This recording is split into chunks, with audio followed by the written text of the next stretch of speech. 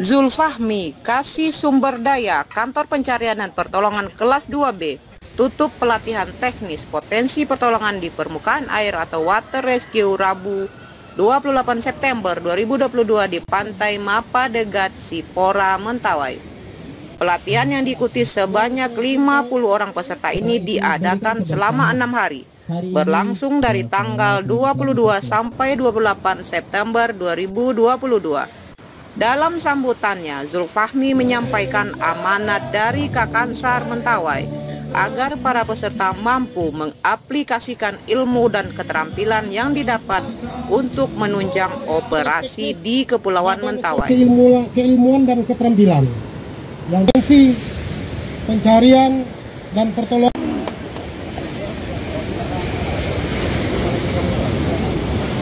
Apa yang menjadi sebuah momen dari sebuah pelatihan ini, Pak? Uh, ya, terima kasih.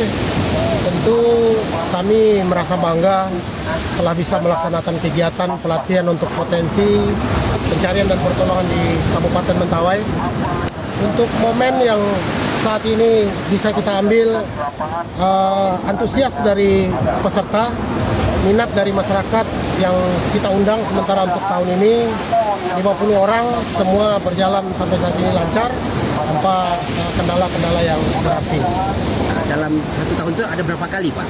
Uh, terima kasih uh, untuk kegiatan pelatihan potensi yang kita agendakan di kantor pencarian dan pertolongan Mentawai. Dalam tahun ini kita agendakan dua kali kegiatan. Harapannya tahun depan ini bisa meningkat. Nah, kita sudah usulkan mudah-mudahan untuk pelatihan pencarian dan pertolongan untuk potensi SAR yang ada di Kabupaten Kepulauan Mentawai uh, bisa kita tingkatkan dari tahun ini. Untuk jumlah peserta, peserta kita libatkan sekali session ataupun satu kali kegiatan 50 orang peserta dengan unsur terkait baik instansi, organisasi maupun masyarakat yang berpotensi untuk melakukan pencarian dan pertolongan di Kabupaten Kepulauan Mentawai. Saat mereka melakukan pelatihan ini, mereka kita berikan kemampuan eh, tentang organisasi, terus bagaimana melaksanakan pertolongan pada korban, khususnya saat ini adalah korban kecelakaan pada permukaan air. Nah, selanjutnya bagaimana mereka melakukan evakuasi yang aman, tepat untuk sampai ke pihak rumah sakit ataupun pihak medis yang berkemampuan lebih. Pelatihan ini, Pak, tentunya mungkin dari uh, Pak Kasih juga punya pandangan. Sedikit Pak sarannya. Pandangan dari uh, kasih operasi dan kesiapsiagaan dengan banyaknya uh, manusia yang kita didik uh, dalam uh, materi SAR, setidaknya banyak juga jiwa manusia yang akan tertolong nantinya.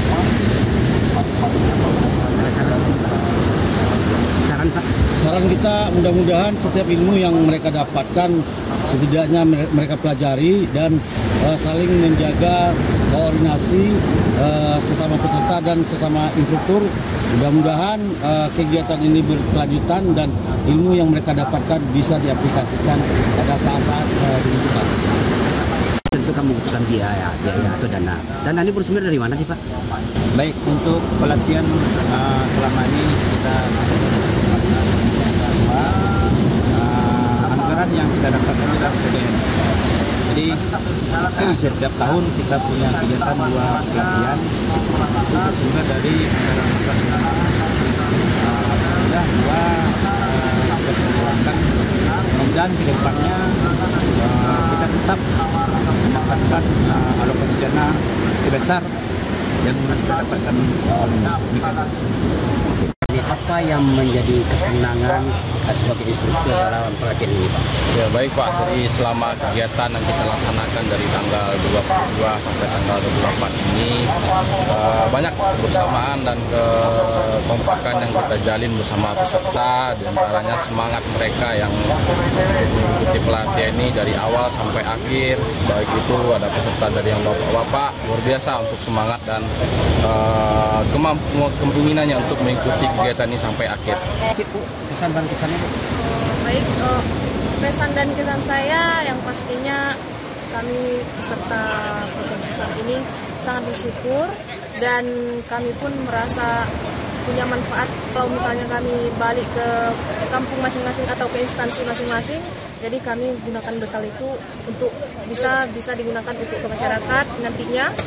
Kami berterima kasih banyak-banyak kepada instruktur potensi SAR ini karena kami sudah dilatih semampunya. Biarpun kami peserta ini ada yang yang tidak fokus atau gimana, tapi kami sangat bersyukur karena sudah mereka kasih bekal kami. Baik, terima kasih kesan-kesan kami ke peserta kepada tim instruktur dan seluruh uh, dalam acara ini. Kami sangat bangga dan senang kami sangat bersyukur sudah mendapatkan ilmu meskipun sedikit tapi akan akan menjadi manfaat buat kami ketika kami pulang kampung masing-masing. Dari Kabupaten Kepulauan Mentawai, Fajri Esa TV mengabarkan.